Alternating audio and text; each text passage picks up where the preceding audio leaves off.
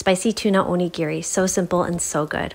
Season your warm sushi rice with salt, mix well. Season canned tuna with Japanese mayo, sriracha sauce, mix.